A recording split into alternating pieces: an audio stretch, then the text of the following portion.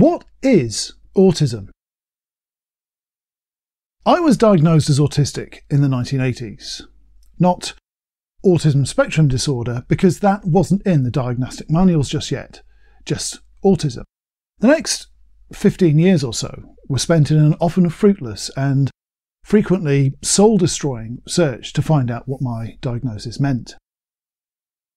The world is very different now. The autism spectrum has been in the ICD and the DSM since the early 90s, and there are autism charities in every county and big city in the UK. Most people have at least heard of autism now, and there are people who have recognised they may be autistic themselves thanks to the greater availability of information. However, the question of what is autism remains one most people can't answer. It's a question I've asked hundreds of people in the last 30 odd years, and the responses vary from the clinical to the emotional and from the astute to the ridiculous. These days, when someone can't be bothered or isn't able to answer a question, they'll often tell you to just Google it. So let's start there. The first page of a Google search gives us a few charities telling us it's a lifelong disability, featuring deficits in communication, social skills, and behaviour, along with the NHS pointing out it's not an illness. When we look on Bing, we find much the same sources, along with a quote from a dictionary. Noun a developmental disorder of variable severity that is characterized by difficulty in social interaction and communication, and by restricted or repetitive patterns of thought and behaviour. There's also a number of disturbing adverts from commercial companies about early intervention. What about Wikipedia then? As the People's Encyclopedia, perhaps we'll see something different there. Autism is a developmental disorder characterized by difficulties with social interaction and communication, and by restricted and repetitive behaviour. So, we're getting a pretty clear picture. Almost everywhere we look, we're seeing the same themes. Bear in mind we're not delving very deep, but sadly neither do a lot of people. That's if they even get as far as looking something up on the internet rather than believing what they see on TV or what their friends tell them. Unfortunately, when you do go deeper, the picture doesn't get any more optimistic. When you read the descriptions of autism on the pages of charities, uh, medical authorities, and in the news, it's dominated by words like deficit, challenges, and problems. This gets even worse when you look at the definitions from those with a vested interest in autism. The private companies that make fortunes out of peddling interventions and therapies that have been unequivocally proven to be ineffective and even harmful paint an even bleaker picture. The uh, blogs and videos from attention seekers and anti vax cranks come out with wildly inaccurate statistics about autism prevalence and the incidence of additional disabilities. Some of them will even suggest that things like seizures, uh, violence, and incontinence are symptoms of autism. The one thing that unites all these definitions of autism is who wrote them. They were all written by non autistic people trying to define us from the outside looking in. Autism, in dictionary terms, is based on external observations of autistic people, not by autistic people describing our own experience. Imagine, as many writers have done in the past, how an alien species might describe humanity. The commonly expressed opinion is that they wouldn't think very much of us. They might comment on our fragile bodies, our limited senses, uh, and our rather pitiful number of limbs and fingers. They may make moral judgments about us, arguing and fighting with each other. Our inability to trust, the fact that we lie, cheat, and steal, even kill each other. They might call us irresponsible, even idiotic for destroying our environment or genocidal maniacs for having killed off so many of our native species. The consensus is that they would not look on us as equals, let alone hold us in high regard. They wouldn't see the joy we share together, the euphoria of a crowd at a concert or a sporting event, the deep bonds of love between a parent and child, or the beauty of music or art.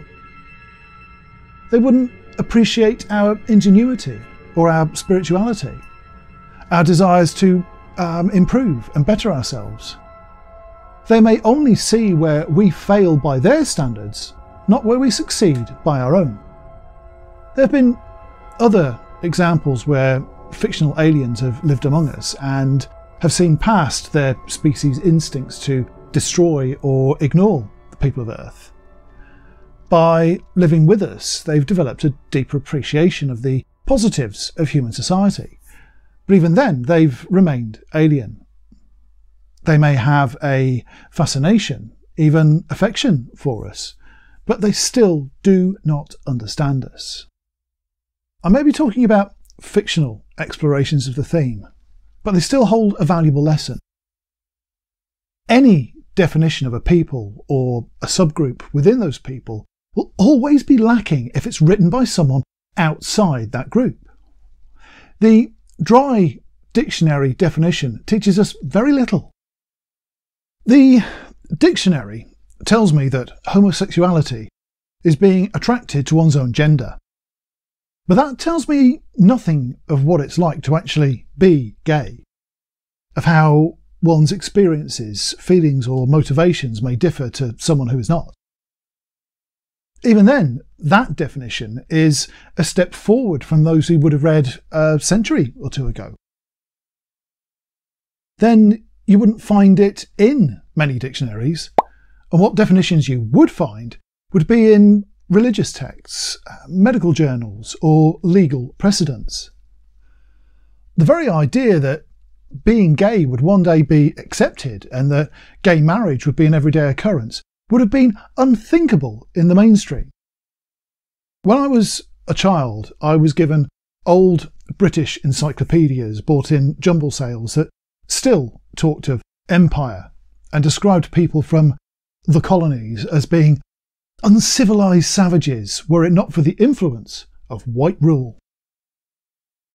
These early 20th century encyclopedias were the internet of their day and were taken as gospel truth by most people who read them. White heterosexual people were led to believe by all the organs of authority that they were superior to those who weren't. The dictionary definitions of autism, as we see them today, are no better informed than those old encyclopedias because, like them, they're written by outsiders, with little consideration for the thoughts, feelings, and experiences of the people they define. Autism was originally defined less than 80 years ago, and even without input from knowingly autistic people, has gone through many changes since. The internet has been a game changer for autistic people the world over. When I was younger, we were isolated from each other. It was incredibly rare for two diagnosed autists to be in a room together. And even then, it was only likely in a clinical setting or an institution. The internet has allowed us to share our commonalities and discuss our differences. We've gone far beyond the medical definitions of externally observed behaviours to understand why we might be different. We've explored our feelings and our thought processes. We've shared our sensory experiences and the way we express ourselves. We've learned to understand common motivations or reactions to external factors. What we've learned has been in equal parts joyous revelation and crushing disappointment. We discovered that we shared a need to be honest and truthful, which we were told was communication deficit. We learned that we tend to be consistent in our thoughts and feelings, but when we asked it of other people, they often refused and called us inflexible. We talked of how our senses varied, about synesthesia and hypersensitivity, of hyposensitivity and interoception, and realised that few of us were ever believed, sometimes even punished for sensing or not sensing as others do. More and more, we began to understand that what many of us experienced was common enough to meet the social definition of normal within our own community. We're not faulty humans. We are humans who think, feel, and express ourselves in a slightly different way. And we were born that way. Most of us realise that the main reason we were unhappy and felt disabled was down to the way we're treated, not because of the way we think, behave, or communicate. It's common for us to feel misunderstood, misrepresented, and not listened to. We've grown accustomed to being treated as second class human beings, even when we have prodigious skills, empathy, and talent on display for all to see. Just like the Victorians thought of being gay as a matter for priests, practitioners, or policemen, the people of today think of autistic people as being deficient in the essential qualities of humanity. Which is why asking the question, what is autism, of anyone who is not autistic themselves is likely to be filled with talk of deficit and failure. So, what kind of answer do you get from autistic people? The jury is still out on that one. Friends and colleagues of mine have put together various works in progress on the subject. One of the best I've seen is the communal definition of autism being compiled by the Autistic Collaboration Trust, of which I'm a member, um, although I haven't directly contributed to it myself. I'll put a link to it in the description. Most autistic people consider being autistic as disabling in modern society. How much of that is down to our inherent differences and how much due to our treatment is a subject of much debate. You'll even find a few outliers who deny autism is a disability in any form, which is an opinion they're entitled to have. Though they are far rarer than the parties who profit from demonising autistic voices and writing would have you believe. Some will say it's a gift, and a few will say it's a curse. Most of us recognise that whilst we are defined by society as deficient, we also benefit from strengths that are rarely acknowledged. Our spiky skill sets are made up of talents we are especially strong in, along with others we may require some support with. We know ourselves to be specialists rather than generalists. We're often emotional people with deep connections to others that may be overwhelming when ignored, and we care deeply about those around us. We share a desire to love and be loved, along with a need for concentration and internal reflection. Ask a hundred different autistics the question, what is autism? And you'll get a hundred different answers. Not because we disagree on the defining behaviours that made autism a diagnosis in the first place, but because we each have our own intimate, personal understanding of why we are seen to behave that way in the first place. Many of those reasons would no longer exist if only we were understood and accepted as just being different instead of deficient. There's a phrase you'll come across over and again in autistic circles If you've met one autistic, you've met one autistic. Because for all we have in common, we are all unique. The mythical alien we spoke of earlier could live in a human body for a thousand years, read every piece of literature, listen to every symphony and opera, and appreciate every movie and artwork, yet still not understand what it is to be human. If you want an answer to the question, what is autism?